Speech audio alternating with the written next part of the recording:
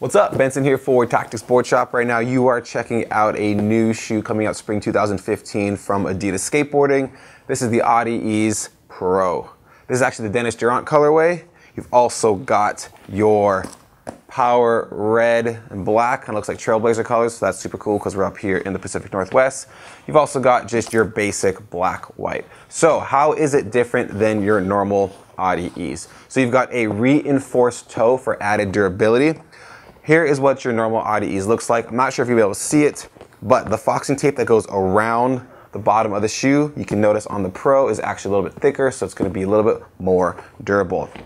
You've also got a padded tongue, which if you remember on the original shoe, it's pretty thin, so it fits great, but doesn't provide the most protection from boards coming down on top of your feet. So padded tongue that actually connects to the shoe, giving you a snug fit.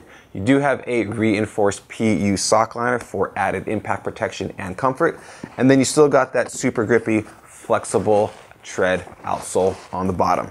So that's it. Sweet low top vulcanized shoe. It's the Adi Ease Pro coming out spring 2015. Head over to tactics.com. You can see full 360 images of this shoe, of all the colorways, learn more about all the Adidas skateboarding shoes at our site, tactics.com.